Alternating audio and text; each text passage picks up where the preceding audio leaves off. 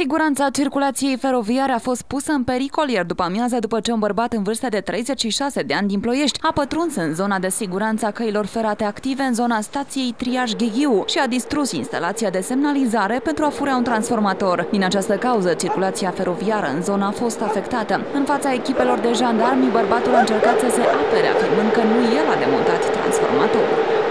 L-am găsit jos și a zis că pot să fac un aparat de pentru 2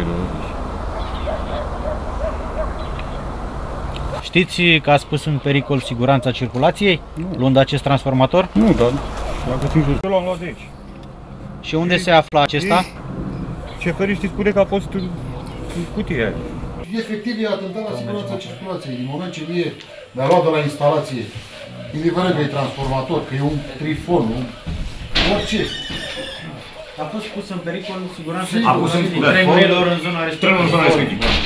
Celui în cauză i s-a întomit dosar uh, cu acte premergătoare uh, pentru faptele susceptibile a fi pătrundere în uh, zona de risc a căilor ferate, distrugere, distrugerea materialelor, materialului rulant și sustragerea acestora.